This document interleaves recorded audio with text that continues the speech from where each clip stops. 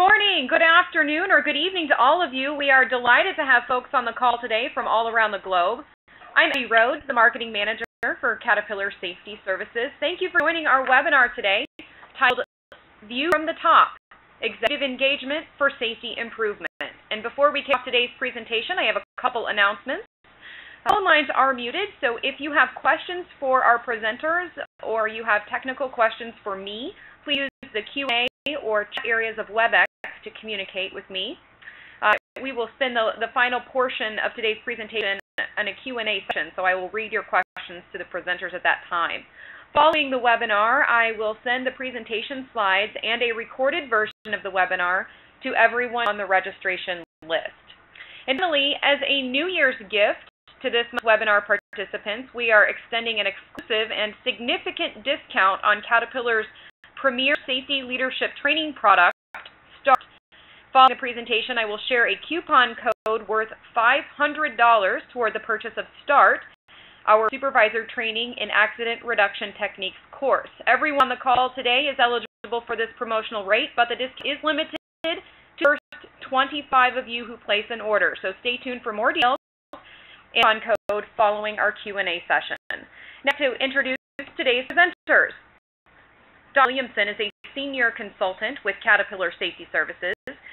Has more than 25 years of experience in the safety profession and works with organizations in a variety of in industries to build and achieve employee-driven safety culture excellence. And our guest co-presenter today is Eric Dyck, the Vice President of Operating Services for Pembina Pipeline Corporation, an integrated energy infrastructure service provider with an enterprise value of more than $10 billion. Eric is responsible for the company's safety, environment, and security team, which establishes programs and procedures that help Pembina identify potential risks to safety and the environment and ensures Pembina maintains consistent performance standards across its four business units. Eric will share with us today his experience leading Pembina through Caterpillar's zero incident performance process. And without further ado, I turn this over to Mike and Eric. Thank you very much. Uh, you did a pretty good introduction, I think.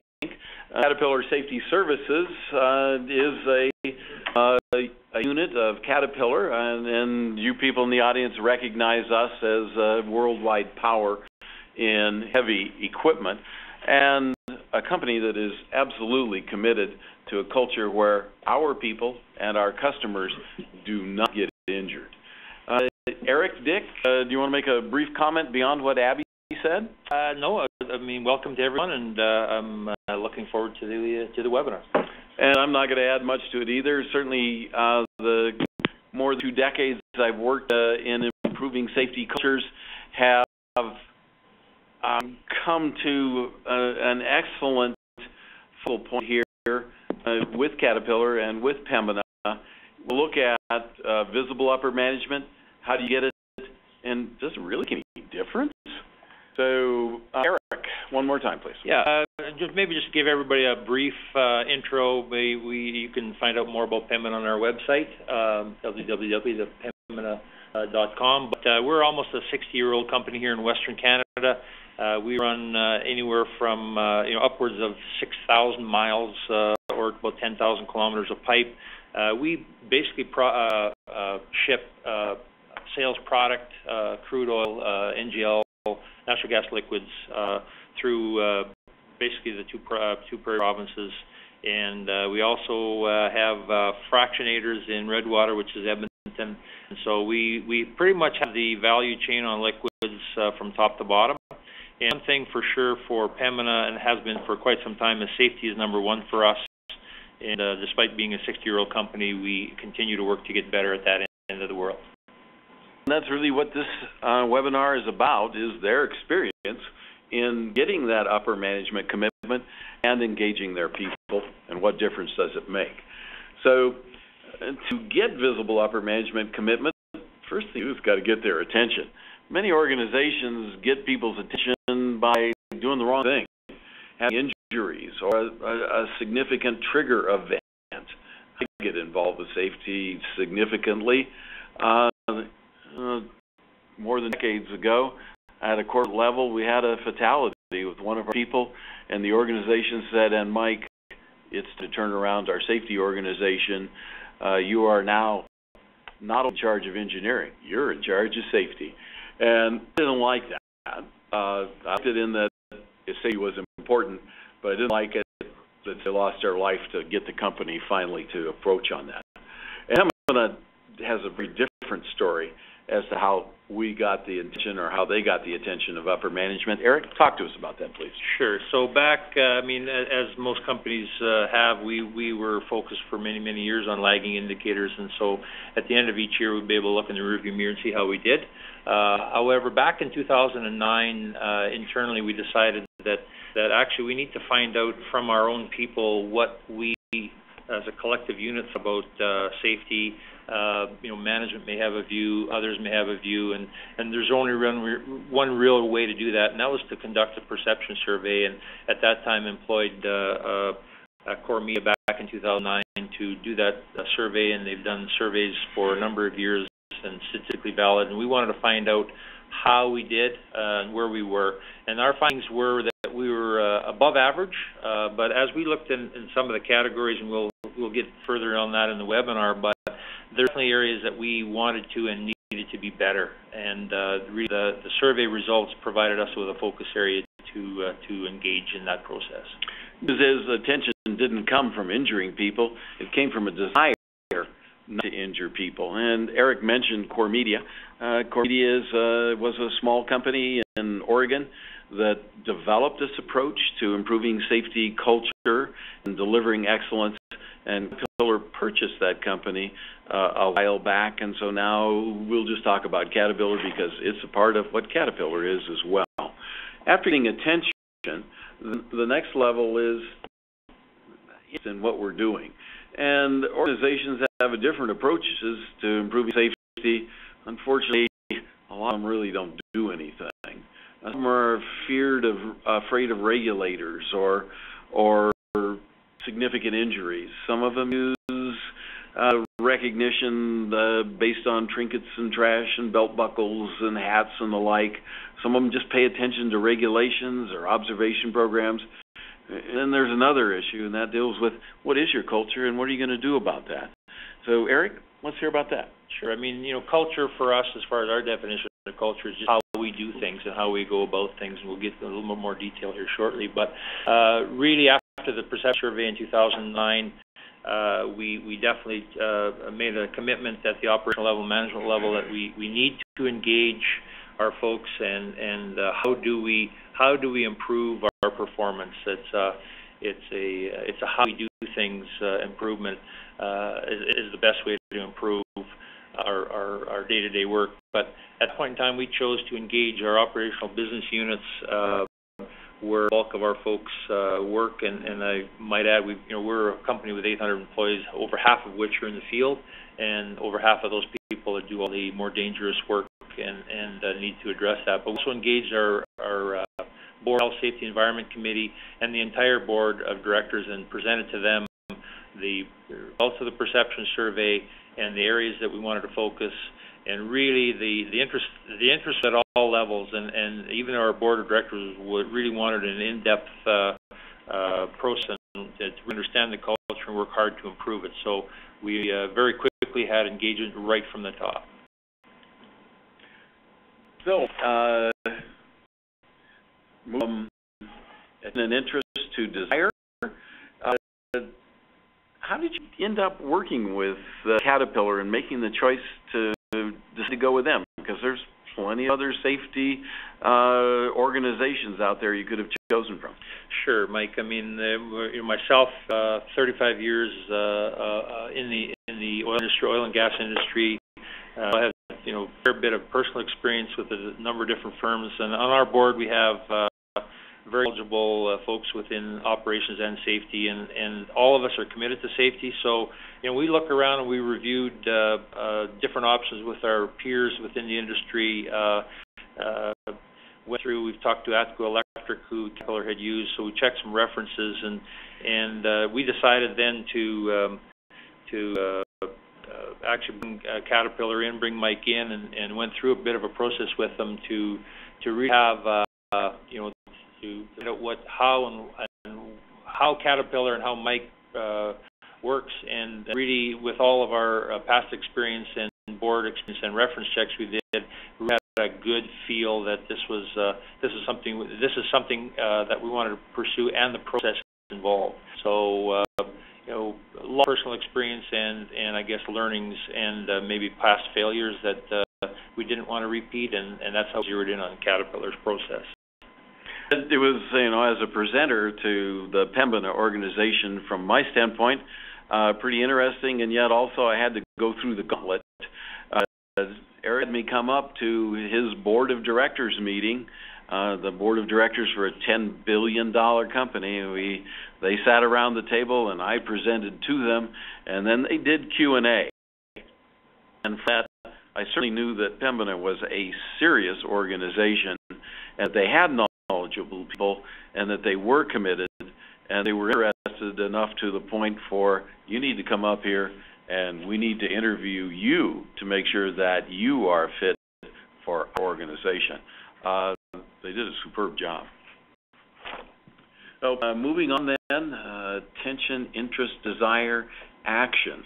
And how did you get from somebody coming up and talking to your board of directors through actually uh, using Caterpillar to work with. Eric? Uh, I mean, you know, once we had uh, commitment from the top and and uh, had had uh, Mike up several times and presented to different uh, levels of both management, operational, safety staff, and the board, uh, and and we chosen Caterpillar. We then spent some time with Caterpillar going through the methodology and and all that good stuff, and and went through different phases of proposals, and and actually.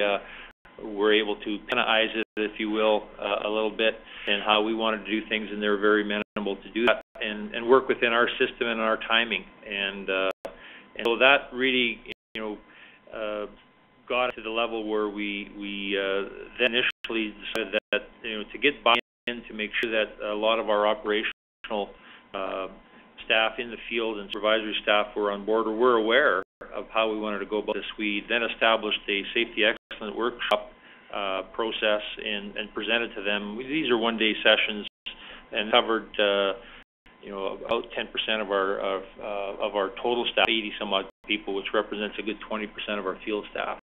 Uh, so that they have a good uh, flavor of what we want to do, and more importantly, engage with them. And I think this also established a very, very prime issue for us, and that was to ensure that we had their trust that this was the and why we were going to do it and how we were going to do it and the process we were going to follow. And I think that was a that was a very uh, significant and and uh, early uh, successful step. So the action dealt with dealing with the people on the front line that truly have to uh, be engaged with improving the safety culture, and I did an excellent job of that. So from uh, Uh, the Caterpillar process, ZIP, Zero Incident Performance Process, has a number of steps to it, kind of like Plan, Do, Check, Act in, in quality excellent organizations. I'd like to go through these relatively quickly. So the first one deals with engaging the leadership of the organization, and we did a leadership roundtable, kind of a two-day event in Calgary, with the upper management of and Eric, uh, give us a little background on this, please. We there uh, we we assembled the operational uh, business unit leaders. Uh, our president sat in as well. Our uh, field uh, safety and environment advisors that work in our field offices, and and with Mike's help, we the roundtable actually went through our 2009 perception survey results in quite a bit more detail and what they meant. Each each one of the categories we'll talk about here shortly meant and, and what the survey results meant. Um, and we got us to focus on, on what the issues were, where they where they communicated issues internally, were they cultural issues, and, and really I think it's kind of like a Tetris scheme. You know, a lot of those blocks now fell into fell into place for for everyone in the room for two days, and we really talked about you know the five W's and the H. You know, who uh, needs to be involved and and and, and uh, when and and where and and what the, messages would be and and uh, uh, how we were going to deliver, and, and really this, this really made a difference. That really was an excellent kickoff to the whole process. That engagement session really uh, explains the process that we're going to go through, answers people's questions, and from then they make a decision, are we going to go forward or not? But they have enough data, enough information, enough one-on-one to make that decision. I think it was really important for me to, to, to I think the last and biggest thing that we really made a difference for that group was is the is, are these the type of people we want to deal with? Is this the kind of process that's going to fit with how Pembina works? And that was you know, that really comes down to a bit of a tummy feel at the end of the day, and, and that was a unanimous uh, affirmative. That's uh, that was a big kickoff for us. Uh, kind of a, now a, a few series of slides of what we show at this uh, initial engagement meeting. We at Caterpillar have some models we use that explain what safety is and what culture is and, and how you adjust that. Incidents, uh, when you look at the data, typically come from at-risk behaviors that occur at the front line.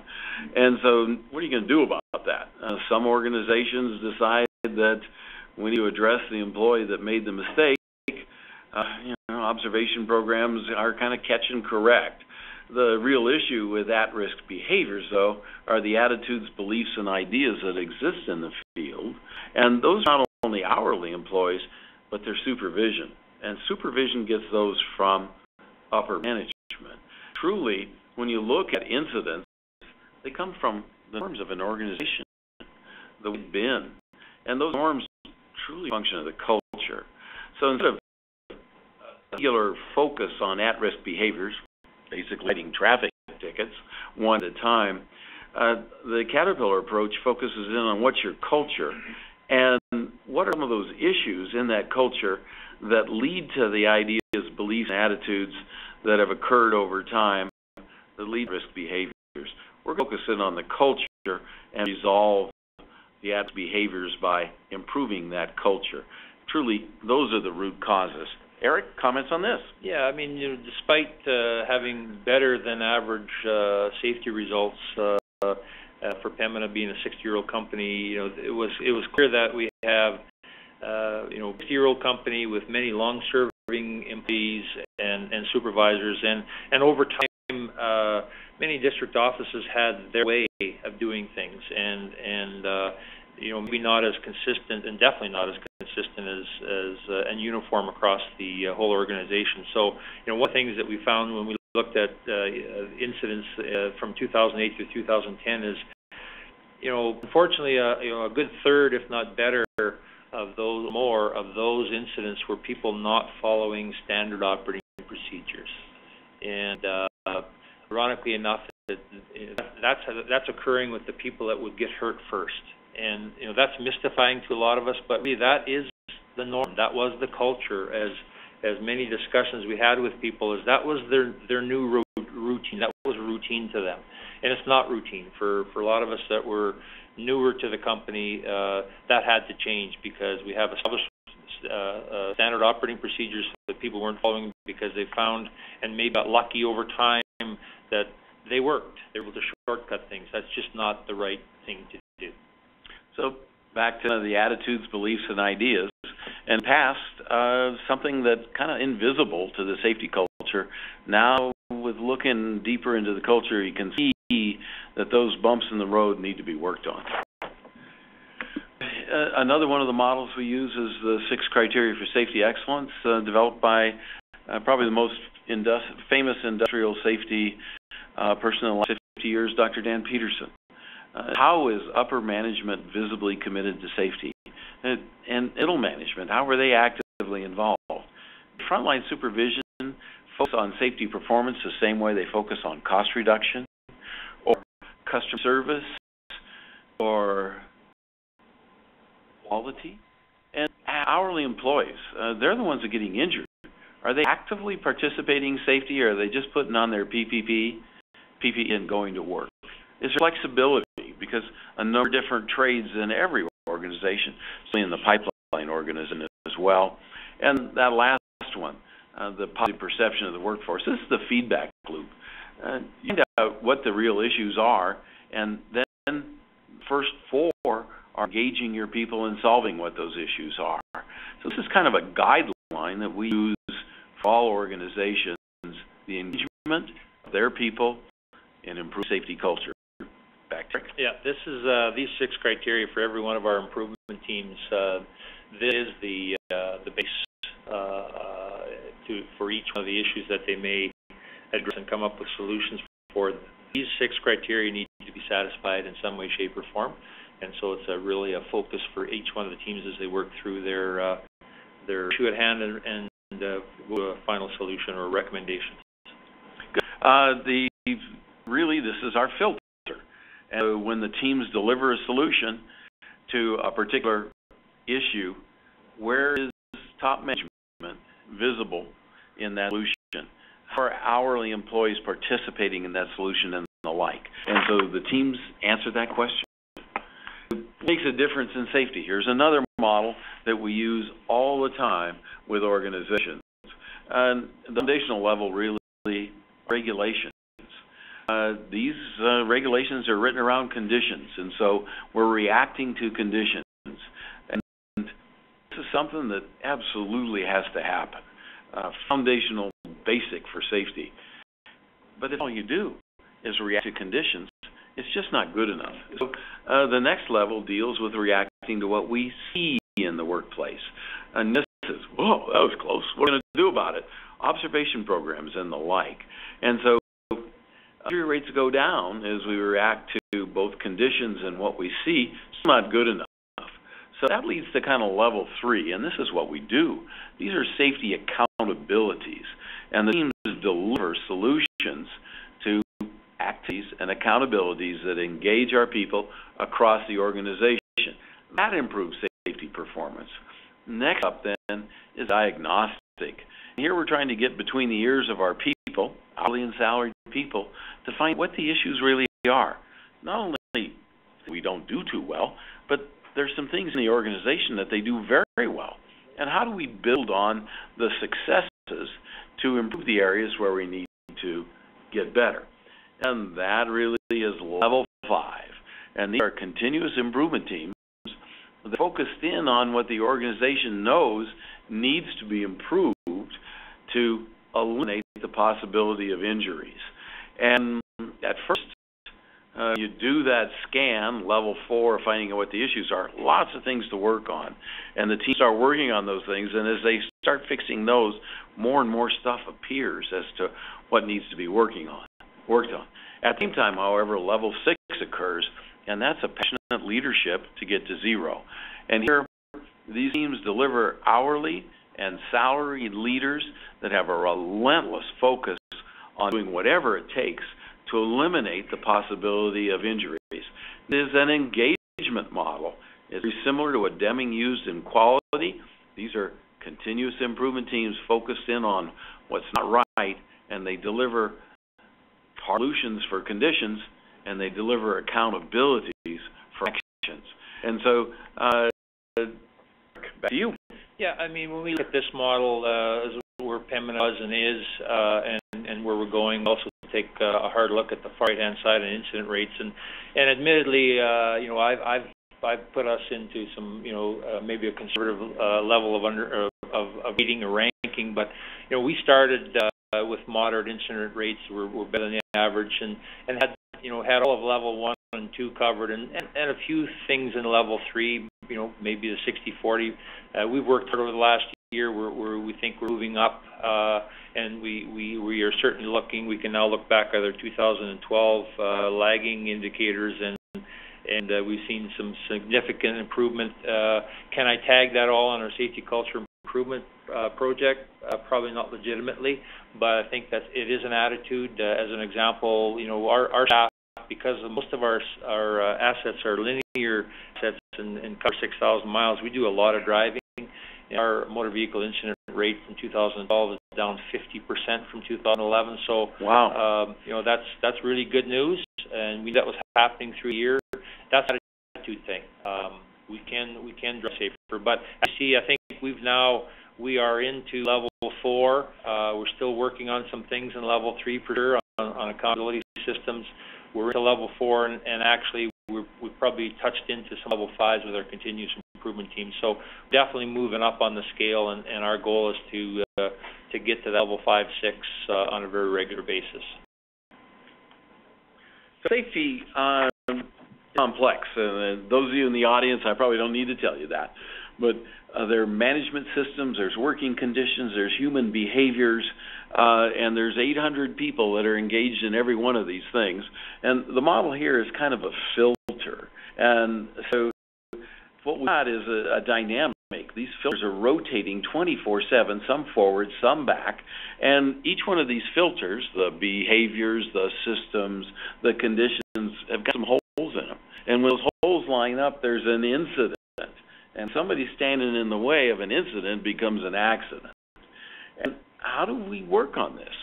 Well, we're back to the continuous improvement teams, and they're focused in on the behavioral issues, the condition issues, the systems issues, and their assignment really is to plug the holes, to get these rotating filters or gears to a where we've airproofed them, and there's possibility of incident. Uh, a model that we explain to upper management, to hourly employees, and everybody in between. Comments, Eric? Yeah, you know, I think that what you see here on this uh, this uh, diagram, you know, the holes uh, from our perspective is, you know, those are those are the items that have been identified from our perception survey. Those are the things that need to be plugged and worked on, and and, and as we uh, work through on our CIT teams, continuous improvement teams, that's what we're doing. We're trying to plug these holes, uh, big, small, so that there is no chance that they line up at the end of the day. So it's a there's lots of different levels and there's lots of different sizes of holes and uh, we're just trying to do our best and, and work through our safety culture improvement project to fill as many as we can and, and as we go hopefully we have no red arrows coming through for an incident. Uh, that uh, portion of the engagement session where we train uh, the upper management that's going to make the decision as to whether they're going to follow this process or not. And from that, then uh, an assessment. And uh, let's take a look at uh, the Safety Perception Survey, the assessment that Caterpillar uses worldwide, uh, developed again by that famous safety uh, guru of the last 50 years, Dan Petersen, and others on their team. And they spent 10 years developing an assessment tool and did statistical validations along the line. Certainly the the most robust of any of the surveys I've ever seen.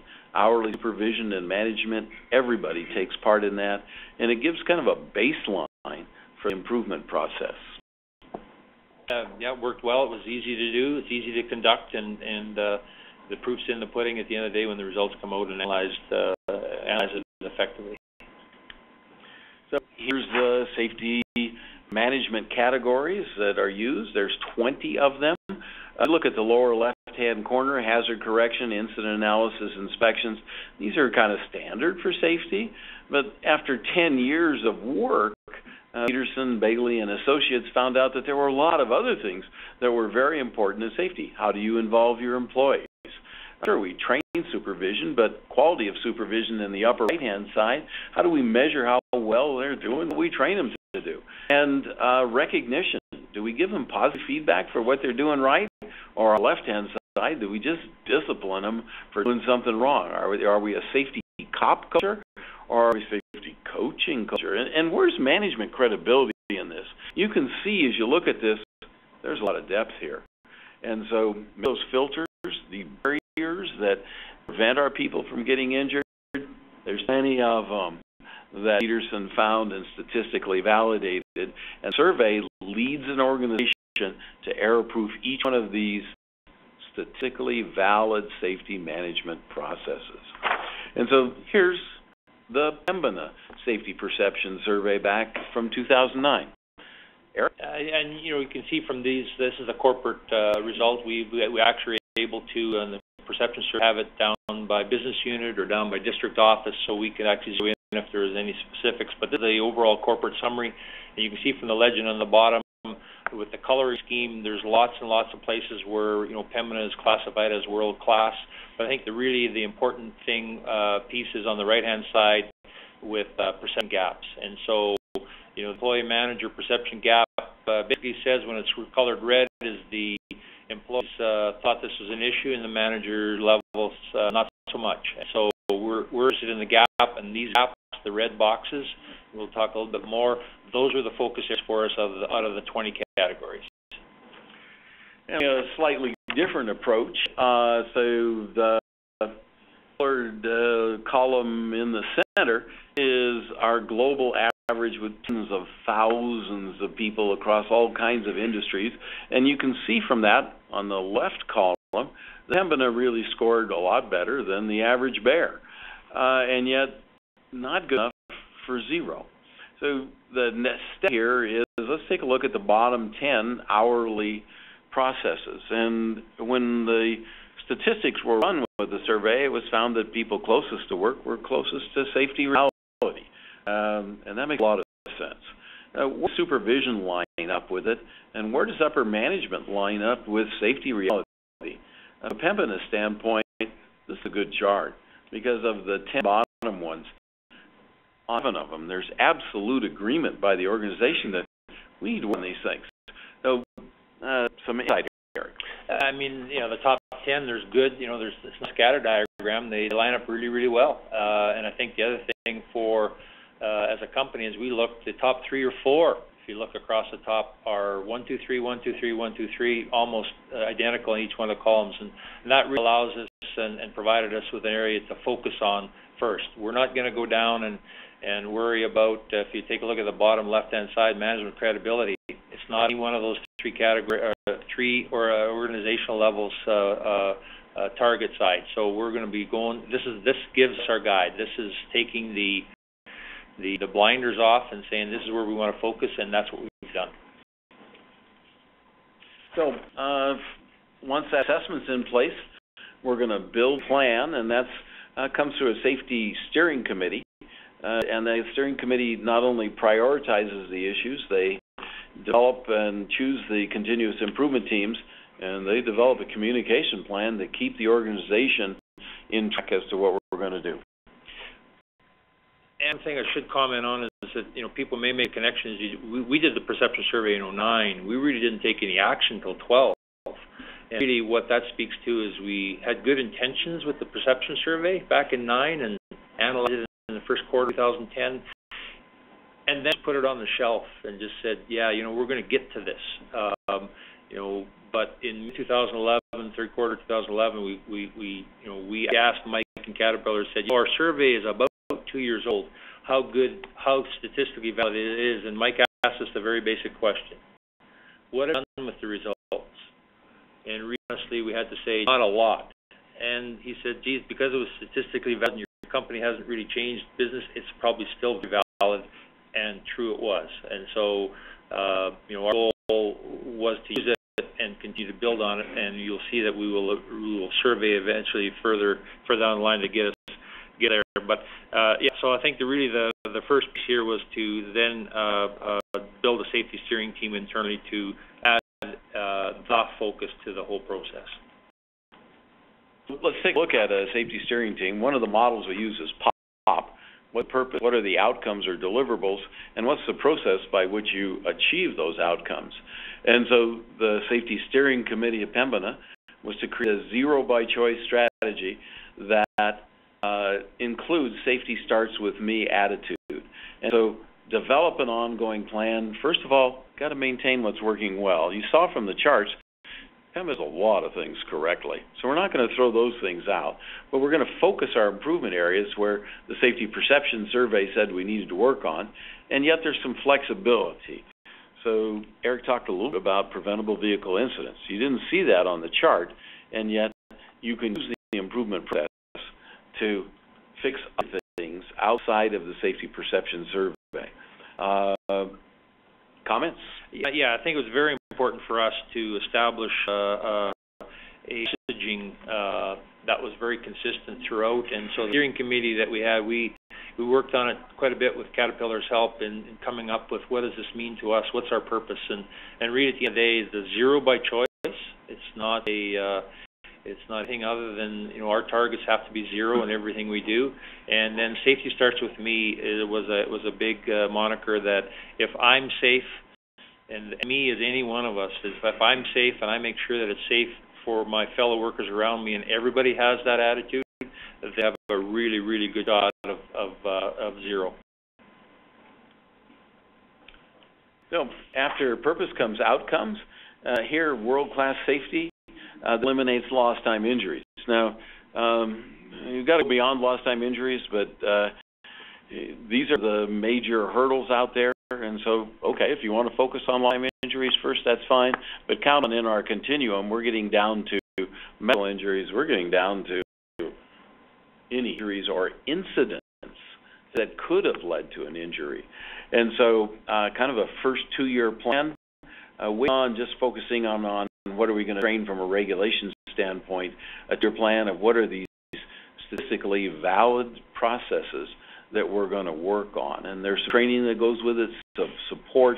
Uh, we charter these teams, and the teams say, this is what we're going to deliver, this is who's going to deliver it, this is how long it's going to take, this is resources, etc. This is a serious, in-depth approach to delivering outcomes, results that are measurable, not only from an injury standpoint, but from culture standpoint. And you can see it doesn't take 200 people on a team.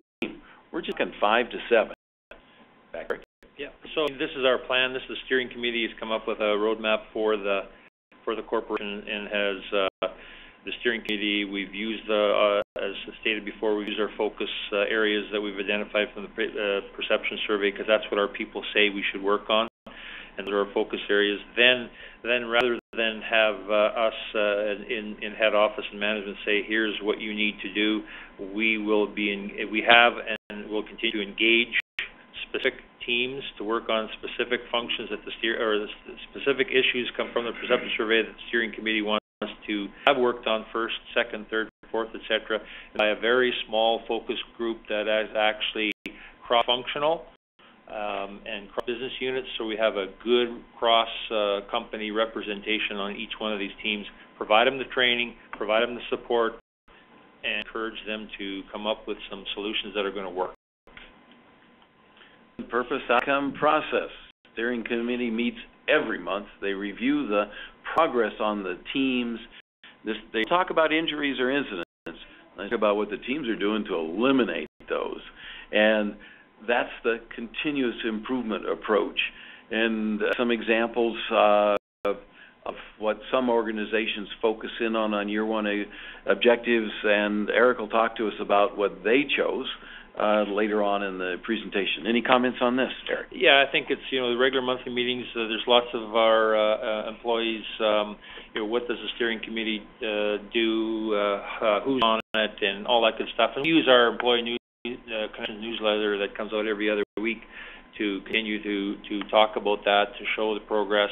Uh, each one of our steering committee members who are made up of cross-functional across the districts in our company, you know, go back and, and communicate what's happening and and uh, how the interrelationships uh, are going, and, and we need to continue to have consistent messaging. Uh, seen the continuous improvement teams, which we'll talk about here in a few minutes, uh, what they've done. That's another 21 employees. So there's lots. You know, it's it's uh, it's spreading out there, and the word uh, the word gets out. Um, and you know, it's really really uh, interesting when you have a meeting, and those of us in management, we all know that the real conversations happen after real conversations happen out there at the water cooler or the coffee station out there in the offices and you very quickly either positively or negatively will get that feedback on how it's going and, and for us the last eight or nine months since we started we've had tremendous feedback and really really encouraging uh, uh, news back from the employees so that's a, that's a really it feels good and it uh, it really helps promote uh, our our success and progress with the with the program. Yeah, one of the issues that you know continue comes up is I'm going to put an hourly employee uh, in a meeting with a senior vice president, number two man in the corporation. Isn't that going to be kind of intimidating to this hourly person? Are they just going to clam up? Uh, you had a meeting yesterday of the steering committee, and one of your hourly frontline technicians, Rod, had an interesting comment. Could you give us a soundbite on that, Eric? Sure. I mean, you know, eight nine months ago, uh, we we went. You know, a year ago we went out for volunteers. We got volunteers. Uh, Rod was one of the volunteers, and of course comes to his first steering committee back in in uh, April last year, and very apprehensive of how this is going to work because he's sitting there with some senior people, and uh, really, uh, you know, when he found out that all stripes are left at the door. Uh, you know, he was uh, legitimately, you know, how's this going to work? Uh, nine, ten months later, uh, his comments back yesterday is he can't believe it. Uh, it, it you know had uh, equal input, and uh, you know, lots of folks uh, in his home home base have asked him how this has worked and how certain people uh, treat treat uh, you know uh, each other, and it's been very constructive. He was uh, he's you know it turns he's a very good advocate for us because he's very enthused and it's really worked out uh, even better than he would have imagined. So it's a it's a good feedback loop.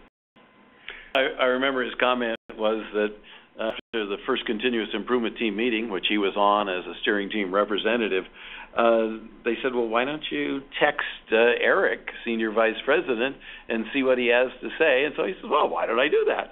He texted him, and then afterwards, as he was driving home, he says, "Holy mackerel, what have I done?" And uh, the answer was, Eric. Uh, I returned his phone call within minutes and had the discussion, and uh, he was satisfied. And uh, I guess, as it turns out, with his comment from yesterday, he was uh, he was quite uh, pleased how that went, and it wasn't a uh, uh, you know uh, who do you you know who do you think calling and what do you think you're doing. Uh, it was a, a equal team member on the steering committee, and we resolved things quite quickly, and he was pleased with the result. And so, uh, really, the steering team and the continuous improvement teams are very functional approaches to break down the barriers between different levels of the organization. And that truly is one of the purposes of them. So, from that, then, uh, let's look at developing leadership skills on these continuous improvement teams and the steering teams and frontline employees. And so, uh, one of the approaches Caterpillar uses is a safety culture excellence workshop. And here, uh, the people at the field level are given some of those same models. Remember, I showed you at the start uh, some discussion on the success stories, uh, information on the upcoming plan. Basically, it's a communication strategy. And Eric uh, and Pembina use this a lot. Eric? Yeah, I mean these were these were key uh, workshops to kick off the whole. Uh, this is even before our first continuous improvement team was uh, was uh, laid out and and and, uh, and brought together. But this this basically laid out for all the supervisors and and uh, uh, people, foreman level, middle level management, to get everybody familiar with the program and some of the basics, and so that uh, at the end of the day, these uh, supervisory folks will we're going to be lending us their people to work on the continuous improvement teams to be aware and to be engaged. And this also allowed them to uh, Q and A back and forth on how this was going to work and and what it meant because uh, uh, we are asking for their support and. Um, is required. Uh, ask might be a bit uh, conservative. We we need their support, and uh, and we certainly got it, and we are we are borrowing their people to to uh, to come up with a solution. So this is a really good um, uh, precursor to the whole program, and, and really set the stage, and, and actually I think really uh, engaged the trust level from uh, from people we needed most. How many of these did you get? Uh, we went through uh, approximately 10 presentations and uh, and, and covered everybody off. And, and then, it, as much as we, we like to ask for participation, these workshops were mandatory. And, uh, and across the province, and basically setting up uh, what it takes to be successful. Uh, the teams, uh, volunteers only. Uh, Eric talked a little bit about that. Uh, if these, if we just assign people to it, it's a task. So we find when we ask for people, we get people engaged that want to be there. You saw POP purpose, outcome, process. Uh, this is the way we run the teams. And what do they work on? Complaints. Remember the safety perception survey talks about things that aren't right, and we don't turn complaints into grievances. We turn them into goals, and the teams work on the goals. And and how do they do that? AIM, action item matrix. Next couple of slides are going to explain that. And so. Uh, one of the tools we use, continuous improvement tools, is a cause and effect diagram. Here's an example, not out of Pembina, but another organization that was having trouble with instances that really weren't right.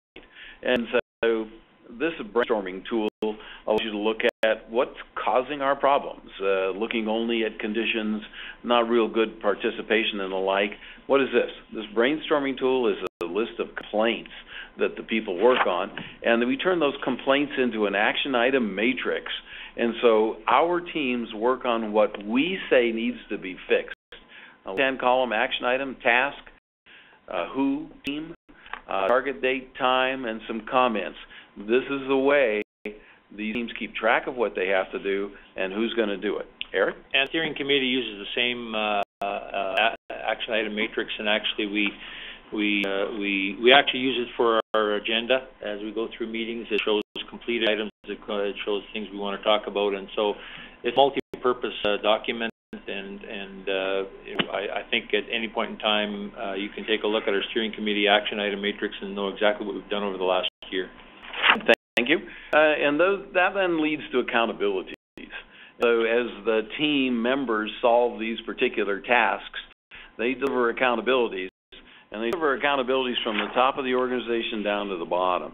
This is an example of what they would, and the steering team makes sure that these are on target. So the continuous improvement team say, this is the accountability we want. The steering team approves those or makes modifications as necessary. And that then leads to the implementation process. And we don't just have a solution enrolled across the organization. We pilot it to make sure it's functional and works in the field. Eric talked a little bit about that. So where we're headed is not looking at downstream indicators, but looking at the upstream activities that drive those downstream results. We take a look at those fundamental processes. We develop accountabilities that we hold people responsible to do, and total personnel involvement is not 100% of the people on the teams. Remember, Eric talked about how he had about 70 of his 800, about 10% that are wanting to be on the teams, but they deliver the abilities that everybody follows. So practice doesn't make perfect. Really, what we're after for is perfecting what goes on, and then perfect practice makes for perfect performance. So from that, then um, we're going to check the results and see how they fit in with the strategic plan to move forward. Really, what we're doing, you could look at is kind of developing uh, crops. Um, this continuous improvement plan uh, looks at the soil and we what do we have to do with the soil and we plant the seeds and we water it and we stay engaged and when we start developing the fruits of our labors we can't walk away from this field the culture that we're injuries from still has to be paid attention to. So, and it's not, this isn't a quick fix. And they've been in the process here for a year, and there's more coming. So we're building a safety culture. And kind of three steps. The initiative. Uh, take a survey, form those teams. The teams deliver the principles, and we live those principles and values, and that really delivers the success of the operation.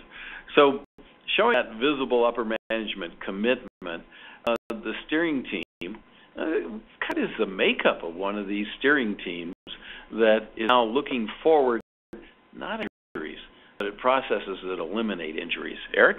Yeah, so we, we made sure, I mean, our focus was that this can't be a 25 person committee. We have 800 people in the company. This is going to be 10 people.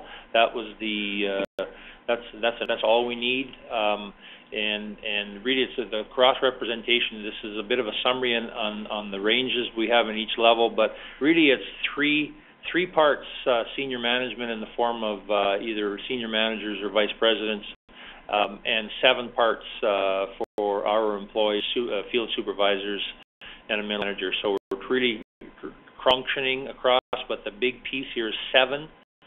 Seven ten are people from the field, and that's where we're going to have uh, uh, the best the, the ideas come from, and we're going to steer this whole group of ten steers uh, each one of the teams. We also have uh, you know quote non-voting support from administration personnel, communications personnel, regulatory folks to assist us in getting the message out and making sure we're we're we're we're addressing the right things as well. So uh, voting is probably a, a, a misnomer. There hasn't, hasn't been any votes because we actually had a collective group of ten that really come together and and uh, done well as a steering committee. But the important piece here is for the rest of the corporation, when over half our, half our staff are in the field, 70% of the makeup the steering committee from the representatives. Thank you. And the, the part of the piece is that the steering team meets every month. They meet once a quarter, once a year. They don't really get much done. So every month we're staying focused in on what does it take to deliver zero incident performance in our safety culture. And then uh, we train the steering committee. You saw some of those models that we use, continuous improvement teams or rapid improvement workshops. There's a charter that goes with that. And from that, then the steering team selects what's going to be worked on. They've got the safety perception survey, So they have input from the field. And now this leadership determines where the priority and focus is going to be. Eric? Yeah, uh, as a steering committee, my recommendation to anyone out there that's going to be doing the same thing is we, we wanted to win early. And, uh, you know, we didn't want to take the toughest topic in our view and, and have that as the first topic. So we wanted to win early and, and uh, what, what we chose was positive safety recognition was our, was our CIT number one. Uh, uh, it's no, no different at home, at work, at play. It's always easier to critique than give positive uh, feedback. It's always easier to find something wrong or criticize. It, it's kind of like your kids coming home from school and they have four A's and a D. Uh, first thing you're going to say is, "Geez, what the heck happened with the D?" Uh, we want to we want to capitalize and, and focus in on the A's and support them to improve on the D, but focus in on it. So positive safety recognition was number one, uh, and that's made a, a big difference. That team started in May of last year, gone through a pilot through middle of last year, and rolled out a uh, corporate uh, final solution. Final being a misnomer. We continue to continue to improve on that, but they've now finished their work, and that was eight or nine months of involvement. Uh, not what difference did you see uh, in positive recognition? Well, it was a real change because uh, you know now we're talking about you know uh, 90 to 95 percent of the time our people are working safely, and so now we're you know we're focused in on talking about that 90 to 95 percent of the time instead of in the days where we would talk about the 5 percent of the negative side and we'd spend 95 percent of our time talking about it. Uh, we have to correct those absolutely and identify correct them. But now, now we're we're making a difference because people are being recognized in a sincere manner, uh, and there's a process to that uh, on a regular basis. And we have, uh, you know, positive safety recognition cards. They're small little pocket cards, and uh, we have weekly uh, summaries that come out uh, that that is also reported to right to the top, upper management and executive. And now getting anywhere from 40 to 60 cards a week on a five-day work week, we're getting 10 to 12 cards per day company-wide on, on from things to large things. We've even had a couple of positive safety recognitions that have now turned out to be economic uh, benefits for the company, which we hadn't really bet on, but uh, it's been significant. So we're we're it's making a difference. So instead of being a safety cop, you're more of a safety coach. And how does that fit into the national sport of Canada? Hockey. Well, I think you know the, one of the analogies for the for the for the hockey hockey folks out there, we do a lot of that. But uh, you know, it's kind of it's kind of like the coach. Uh, if your hockey coach on the bench is cool, calm, collected, and focused on the uh, on the uh, objectives, uh, your players are that way. If your coach on the bench is a yeller, screamer, and uh, throwing hockey sticks and all that kind of stuff, uh, unfortunately, your players take on the same attitude, and it's not conducive to the end result. Uh, and then bring on our CIT number two near miss system. They got started in the third quarter and they're into their pilot stage at this point in time. And our last one got started late in the year incident investigation process, which will be going to pilot here mid-year. One thing I would say, uh, in, in anyone that's we had 10 topics we wanted to use and or, or work on.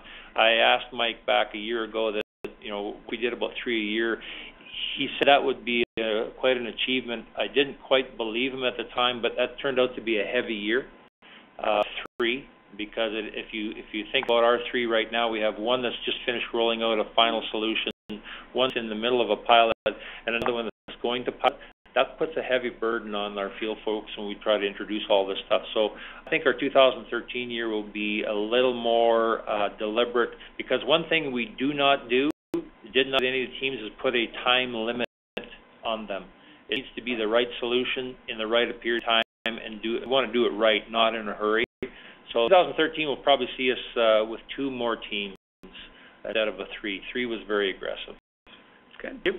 And so uh, these teams then uh, show that, that commitment, and you can see that a typical team has one steering team member uh, three to four frontline hourly employees, one to two supervisors, and a manager. Back to cross-functional, back to across the organization, back to focused in on what the issues are in the field. And the team members and observer and the safety rep uh, on the on that team is an observer. They're observers. They don't make up the five to seven. The five to seven are made up of the front line, the hourly, and one manager. But uh, the steering committee members as an observer and the safety rep as an observer are not they lead the teams. The teams find their own leader within their group of five to seven. Okay, thanks. Uh, the rapid improvement teams are trained and in the fundamentals, in the messages, uh, in the models, and how to run these teams, and they develop the solution. So our people develop our solutions to our problems, and we pilot that solution through a target work group. They're trained, they develop the accountabilities. There's a recognition piece that goes with it, an audit, a communication piece. This is a structured approach to work on the issues that our people say need to be worked on. Once that's been completed, the pilot, and the steering committee reviews and agrees to it, then the solution is rolled out. So from that then, uh, what difference all this make? Because we're down to the last four minutes. Hmm. Eric, take us home. Well, you know, I think it's uh, what we've seen. We've been very pleased with how it's gone. Uh, there's all apprehension when you start, but uh, the commitment for lots of folks. Uh, you know, we've got 10. We've been out there. We have now had excellence workshops with at least 70 to 80 of the supervisory level. We've got 10 people on the steering committee. That's uh, that takes us to, to, to 80, 90. We've got uh, three teams of five to seven each. That's another 20, 25 people. So you know we're we're now have 115 to 120, include our board. Uh, you know we're approaching 130 30 people out of 800 people that are intimately engaged with the safety culture improvement project. So that's significant, and I still have another 50 or 60 on the volunteer list. So, you know, that, that tells me that we've got 20, 25% of our folks engaged. It's really going well. Uh, we're going to actually, you know, probably late 13, early 14, do another perception survey to see where we are and how we've uh, done with the gaps. Uh, feedback to date has been very, very positive, and uh, like I say, the the water cooler talk is really where the hardcore good feedback comes from, and and we've heard lots and really good things. So we are very pleased with our first year. It's been a lot of hard work the first year, but I think we've done a lot of the hard uh, the hard parts early uh, reasonably well, and we're all always learning through this whole process. So none of us are experts at this point in time, but it's been a good team effort to date. Thank you for that conclusion. And uh, now, Abby, we're back to you. All right, thanks so much, guys. We do have several great questions from our participants today. So I'll read them to you, uh, and then you can provide your answers. The first is, TRIR is still a focus of our management team. I cannot get them to see past the lagging indicators and focus more on the leading indicators.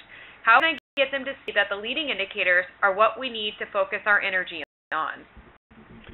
from that standpoint, that's really the engagement process. Remember the first step, we talked to our management about going beyond downstream indicators, showed them the model, how we got there, explained the process to get there. Eric? Uh, well, I, one thing I can say is you can't do anything about it when your TRIR. It's in the past, uh, and so if, if we're just following around TRIRs with 20 fire extinguishers trying to to to solve each one individually, we're not getting to the root cause of that problem. And so uh, lagging, lagging indicators are strictly a result of how you're doing on the front end of, of processes. So uh, it, it there's you know my my advice to the to the question asker is I can't do anything about what happened yesterday today. I have to worry about tomorrow today, and so it has to it, you have to you have to be able to convince them, and, and I think I think that that that issue of, of not being able to do anything about what happened yesterday, I think is a key a key uh, a key point. It's not making a difference for your on your hourly people.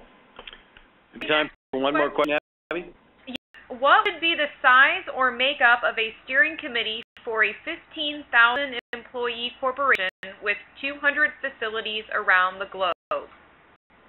That's a good question. And so we do steering committee at the corporate level. It's eight to ten people, and it, it does involve a vice president. It does involve a safety director for that corporation. It does involve a passionate supervision from the field and some hourly employees from the field, and you may choose a region to focus in on uh, at the first time so you can get your regional supervision and hourly employees in there. They develop a solution, they pilot the solution, and then the steering committee chooses what regions to roll it out against. So if you get beyond kind of 12 people, these steering teams become cumbersome. Stay focused in a region we want to improve on with the people that we can count on to improve it. All right, take, take one more question, Mike. As long as you're asking, I'm answering. All right. Eric and I or are. actually, this is for Eric. Uh, Good. Someone on the line said he's hoping, uh, that Eric, that you can give an example of how each of the six criteria for safety excellence works at Pembina. Perfect. Okay. Uh, I can use our CIT number one, positive safety recognition. So uh, each week we get a weekly summary on Monday morning. It comes out automatically off our incident report system and reports all the new ones uh, over the past week. Uh, our top management is visibly committed because we we uh, we we send to all managers, all foremen, all supervisors. So whether uh, some of us take it, take out the take the uh, the the really top level ones, high quality ones, the safety meetings, monthly safety meetings. Some of us reply uh, personally with uh, email communication back. Uh, uh, this is every business unit leader uh, focuses on their own business unit and phone calls. Uh, phone calls back to an individual saying, you know, giving specific feedback, very sincere. It's actually, you know, that that that shows that we're paying attention. Middle management, frontline supervision, same thing. Frontline supervision has has actually promoted, you know, performance metrics. You know, we don't measure uh, TRIR. We're measuring on no accidents, zero. TRIR is just a calculation. Uh, they have focus on um, how many tasks observations were done, how many standard operating procedures were reviewed, uh, how many near miss cards do we do we so have some leading indicators that the that the frontline management is is uh, focused on. And please, we judge on actively participating. We know how many cards we're getting from where. Uh, we do have districts that are not providing uh, PSR cards, for example, positive safety recognition cards, in the same weighting of their number of employees there. That shows that allows us to focus and come back in and say, folks, it does seem to be being used here as, as well as other areas. See a number they have to do, Eric? No, uh, quotas don't work. Uh, if I give anybody, if we give anybody quotas, they'll fill them out Monday morning by 10 o'clock, and they're good for the week. Uh, quotas do not work, and so we do not set quotas. We're looking for, uh, you know, and, you know, recognizing our PSR process has just basically rolled out from late last year into the, into January, so we're allowing it to work. And then the biggest thing is what are the attitudes that uh, safety and environment advisors are hearing out there as far as how is the safe system perceived? What are people talking about? And that, like I say, I keep coming back to that water cooler talk. Uh, you know, people are, are now visibly engaged both in our operations and our capital, our new projects. Uh, people are talking about the right things. It's it's the it's the talk, and that really is very important. And so that heats the room up, and here in Calgary, where it's minus 21 centigrade, that's a good thing. And Abby, we're back to you. Right, one more question. I know I said the last was the last, but I can't uh, get over how great the participation is today. Uh, how can the safety perception survey apply to an office workforce that consists of engineering, marketing, sales, legal, and management employees? And I guess that one comes to me. Uh, we find there's a, a, significant difference in the safety perception scores uh, for admin people versus field people. Yet uh, you saw the processes themselves, these 20 processes, uh, they're made up of 73 questions that map to the processes. And so in uh, an admin, an office environment, when we're looking at the questions, there's some red questions in there uh, that deal with the reality of the business process uh, in the buildings. And so some of them deal with off the job type of safety. Some of them deal with is back that comes to safety.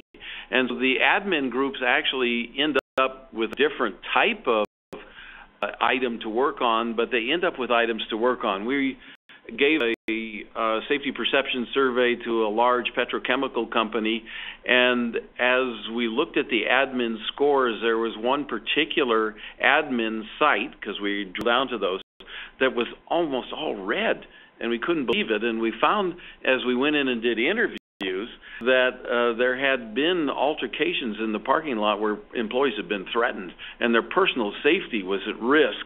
And when they did the survey, they said, this isn't a safe organization. And that led the organization then to focus in on what made a difference to the people.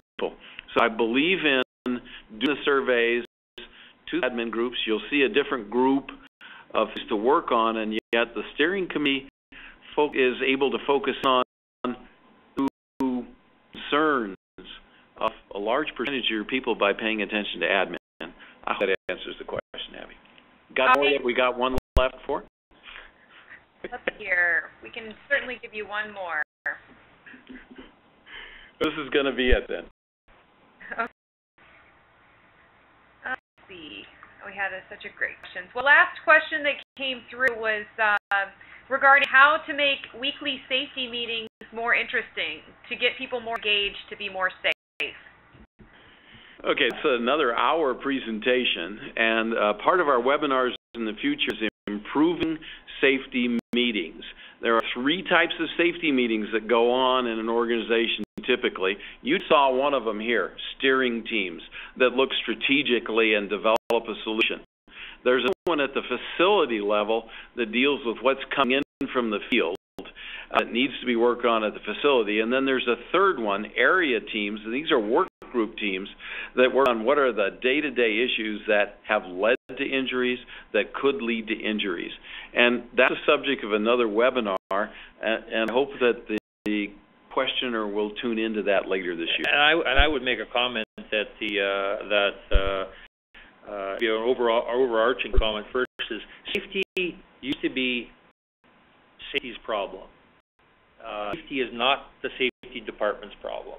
Safety, uh, the safety department provides advice, training, support. Uh, safety is actually the work problem, and so on safety meetings, it can't be the safety person running it or the manager running it. You have to spread the load. You have to assign. Uh, you know, every one of our safety meetings has a specific topic, and that topic is actually presented by one of the uh, uh, hourly employees. They research it, they may be reviewing a, a local standard operating procedure, a regulation, or an issue that's been analyzed with the help of the safety group, but is brought back by the by a peer presenting to peers. Active hourly participation. Absolutely. That's better answer than mine was. Thank you, Eric. And Abby, thank you.